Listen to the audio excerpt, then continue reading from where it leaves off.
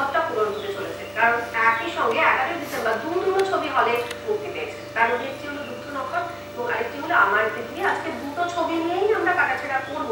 আমাদের সঙ্গে থাকবেন আমাদের চলচ্চিত্র সমালোচক শান্তনু চক্রবর্তী। তবে এই মুহূর্তে এখন আমার সঙ্গে স্টুডিওতে উপস্থিত হয়ে গেছে দুগ্ধ নক্ষর ছবি ডিরেক্টর সৌরভ রয়েছে এবং এই ছবিতে অন্যতম ভূমিকা যাকে দেখা গেছে। অনিন্দ অনিন্দ রয়েছে আমাদের সঙ্গে। তো ছবিটা তো তুমি দেখেছ। তোমার ছবিটা দেখে আমি যেমন প্রথম দিন ওদেরকে জিজ্ঞেস করছিলাম ওর সাথে যখন আমার প্রথম ইন্টারাকশন হয়েছিল আমি ওকে বলেছিলাম দুগ্ধ নক্ষর এই যে শব্দ বন্ধ এটা নিয়ে আমরা এর আগেও ছবির প্রমোশনের সময় প্রচুর আলোচনা করেছি। তোমার কোথাও এই শব্দটা খটকা লাগে ছবি দেখতে গিয়ে মানে মনে হয় ছবিটার নামটা বেশ ভারী নাম। সেটা আলাদা কথা মানে নাম ভারী কি নাম হালকা সেটা তো অন্য জায়গায়। কথা হচ্ছে নাম যখন ওই ছবির কাহিনীটার পরিচয় যখন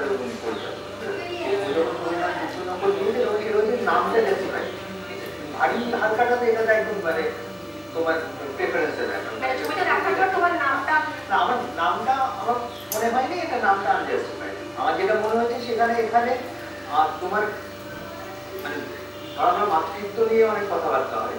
এখানে কিন্তু মানে বলা পিতৃত্বের একটা জায়গা মানে একজন পুরুষ কি করে পিতা হতে পারে বা মানে পিতা হয়ে উঠতে পারে? মানে এটার একটা প্রসেস এটা মানে পুরুষ মনে করে যে জাস্ট আমি তো একটা মেয়েকে মানে আমার স্ত্রীকে বা যেভাবে হয় একটা মেয়েকে কর্মবতী করলেই আমি হলাম আর কি। যে ব্যাপারটা যে সেটা নয় আর কি, যে তৈরি হওয়ার জায়গাটা, এইটা আমার মনে হচ্ছে ছবিটা বিষয়। এবং সেখানে দুধ যদি বলো, দুধের সঙ্গে মাতৃত্ব, দুধের সঙ্গে একটা ছোট শিশু, এই পুরো জায়গাটাতে আছে, এবং নখের সঙ্গে ভায়োলেন্সের একটা জায়গা রয়েছে। আর সেই দুটো এক জায়গাতে এসেছে, সেই হিসেবে ছবির নামটা ডেফিনেটলি আসছে দর্শকদের এটাও জানিয়ে রাখা ভালো যে এই ছবির শুধুমাত্র ডিরেক্টর নয় ডিরেক্টর প্রডিউসার মিউজিক ডিরেক্টর তিনটে মহান দায়িত্বই কিন্তু সৌরভ একাই পালন করেছে তো সেইখানে তোমার প্যাশনটা কি একটা সিনেমা বানাবো? না তুমি এই সিনেমাটা বানাবে বলেই তুমি সবকিছু ছেড়ে ফেলে চলে আমি এই ছবিটা যখন করেছিলাম আর কি। মানে গল্পটা কি তুমি এই তুমি এই সিদ্ধান্তটা নেওয়ার আগে লিখেছিলে বা ভেবেছিলে?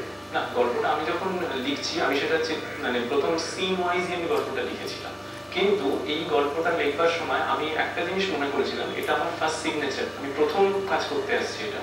সুতরাং ম্যাক্সিমাম আমার ভেতরে যা গ্রন্থনা চলছে, সেটা যেন ম্যাক্সিমাম পসিবল আমি যতটা সম্ভব ভার্জিন ওয়েতে আউট করতে পারি। কিন্তু এই যে ভার্জিন ওয়ার্কটা সেইটা আমাকে এই এই ফার্স্ট কাজে সেটা যেন আমার ম্যাক্সিমাম পসিবল থাকে।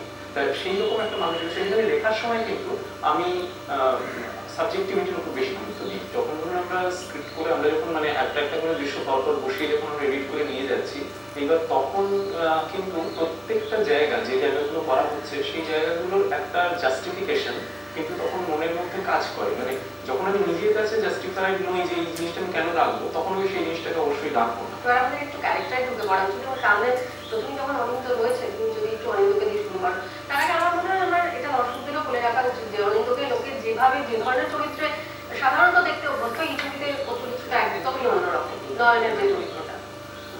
ডেফিনেটলি এই ছবির গল্পটাই যেহেতু অন্যরকম এবং এখানে যে নয়নের যে ক্যারেক্টারটা সেখানে মানে একটা ছেলে সে তার বউকে ডেফিনেটলি ভালোবাসে।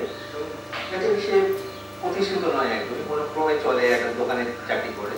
এবং তার একটাই স্বপ্ন আছে যে বউকে একটা ও কিছু গিফট দেবে একটা প্রেজেন্টেশন এবং এখানে বলে রাখা দরকার যে ওর বউয়ের এবং এনাকেও যে ধরনের চরিত্রে লোকে দেখে এইরকম মানে চরিত্র এখানে একটা ছোট্ট করে মনে হয় যে কোথাও একটা আহ, মোপাসা মানে মোপাসা জাস্ট ছোট্ট একটা ভাঙা আছে কোথাও একটা মানে এবং সেখানটাতে অনিন্দ এই গিফটটা আদায় করার চেষ্টা করে। আর ওই মেয়েটি ও গিফটটা ও চায় যে অনিন্দ কোথাও থেকে অর্জন করে গিফটটা দিতে আর ওই দোকানদারকে কোনোভাবে মিথ্যে বলে, মিথ্যে সাজিয়ে দোকানদারের কাছ থেকে গিফটটা আদায় করে সেটা বউকে উপহার এটা এনার ক্ষেত্রে আমাকে, এনাকে আমার নিজের মনে হয়েছে। তুলনায় একটু মানে অনিন্দর পাশে আরও লাগছে আর কি যেটা অনিন্দ মেথড রাইটিংটা অনেকটা বেশি। মানে ও ইম্যাচুর লেগেছে না অনিন্দ কিন্তু কিন্তু নানাভাবে প্র্যাকটিস করে স্টেজ থেকে আসা। সেখানে এনাকে ইমেচুর লাগে। আমি এনাকে কোথাও একটুখানি ওই যে সলিসিটেশনটা ভাঙা দরকার ছিল। মানে যে ক্যারেক্টারটা ও সেইখানটাতে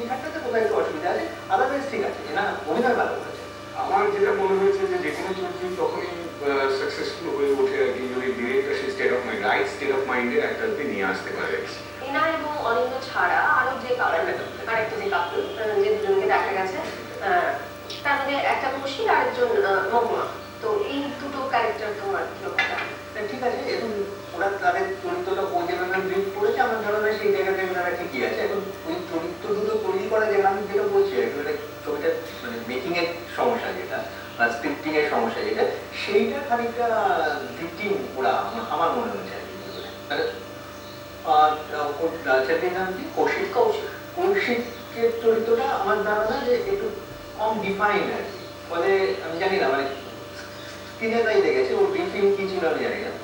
আর তারপরে ওর বিশেষ তেমন মানে কি করবে একটু কনফিউজ ছিল। আর এই চরিত্রটা ডেফিনেটলি অনেকটা স্পেস আছে। ও যেটা মেসেজটা দিতে চাইছে, সেইটা সে ততটা ঠিক সেইভাবে ফিল করেছে কিনা, এখানে কোথাও একটা কমিউনিকেশন মানে আমি দর্শক হিসাবে, আমার সঙ্গে অভিনেত্রী, সেই কমিউনিকেশনের সমস্যাটা এই বিষয়ে কিছু বলতে চাই তো সৌরভ? চরিত্রটা কি সেই স্পেস কম ছিল না চরিত্রটা চরিত্রটা অ্যাকচুয়ালি এই যে চরিত্র এই সুপ্রতিমের যে ক্যারেক্টারটা সেটাকে কিন্তু এর এই ক্যারেক্টারটা যে ক্রাইসিসগুলো সেটাকে একটা সাইডে রেখে এটাকে একটা কি বলব মানে একটা একটা পাত্র হিসেবে ইউজ করা হয়েছে। মানে ওই ক্রাইসিসটা নিয়ে সেটাকে মানে ছবির কেন্দ্রে আনা যেতে পারতো। কিন্তু সেটাকে কিন্তু করা হয়নি। মানে ওর যে সমস্যাগুলো, সেটা বুঝবে মূলত যারা অলরেডি তাদের দর্শক যদি জানে যে একটা এই ধরনের একটা সফটওয়্যার ইঞ্জিনিয়ার ছেলে কি কি সমস্যা মোটামুটি হয়, একটু যে আইডিয়া থাকবে, সেটা না হলে কিন্তু বুঝতে পক্ষে বোঝা মুশকিল হবে তার কারণ ও তো নিজেকে সেভাবে এক্সপ্রেস করে না। আপনার এবং নয়নের লাইনটা হচ্ছে মানে মূল ক্লাইম্যাক্সের লাইন এবার তাকে আমাকে চারপাশ থেকে তাকে আমাকে তৈরি করার জায়গা দিতে হচ্ছে। মানে তাকে ধারণ করবে অনেকগুলো ক্যারেক্টার অনেকগুলো ট্র্যাক প্রত্যেকটা ট্র্যাকে অ্যাকচুয়ালি এদেরকে ধারণ করে। এবার এই ধারক ট্র্যাকগুলোকে যদি আমি প্রচুর ডিটেল করতে পারি খুব ডিটেল কমাতেও পারছি না তাহলে এগুলো মনে হবে দর্শক বুঝে যাবে যে ওদের জন্য সেটা করা করতে পারবে না। তাহলে ধারক ট্র্যাকটাকে আমাকে আমাকে ডিটেল করতে হবে। কিন্তু আমার এত ডিটেলও করতে জিনিসটা তো ইম্পর্টেন্ট প্রচুর ডিটেল করতে পারছি না করতে গেলে তো এরা আবার চেপে কিছু আমার স্পেস তো কম তাই আমার সত্যি অনুষ্ঠানের স্পেস সত্যি খুব কম এবং আমরা অনেক বেশি ইলাবোরেট হয়ে যাচ্ছি বিষয়টা নিয়ে। আমার মনে হয় আমরা একটু ছোট্ট করে মিউজিকের জায়গাটায় চলে আসি। মিউজিকটাও কিন্তু গানের ব্যবহার রয়েছে এবং আমার মনে হয় খুব ইন্টারেস্টিং ভাবে এই গানগুলো ব্যবহার করা হয়েছে। না আমার কাছে আলাদা করে মানে ঠিক আছে সেটা তো মানে মানে আলাদা করে আমার মানে এটা কানে বাজছে না যখন তখন আমার ধরে নিতে হবে এটা অর্গানিক সো ব্লেন্ডেড এটা সঙ্গে সঙ্গে গেছে মানে। হুম হুম। তো সেক্ষেত্রে ব্লেন্ড করেছে বা অর্গানিক হতে পেরেছে ব্যাকগ্রাউন্ড স্কোরিংটা অল্প সময় টাইমের সঙ্গে মানে ছবিটা অর্থ বলে মনে হয়নি কিন্তু খুব মনে রাখার মতন সেরকম সময় বলেই তোমার মনে হয় বেশ। আমরা আমাদের আলোচনার শেষ পর্যায়ে এসে পৌঁছেছি এবং তোমরা তো জানোই যে আমরা আমাদের এই মূল্যপাত শেষ করি। ছবিকে নাম্বার দিয়ে তো দশের যদি তোমাকে তোমার ছবিকে নাম্বার দিতে বলা হয় তুমি কত দেবে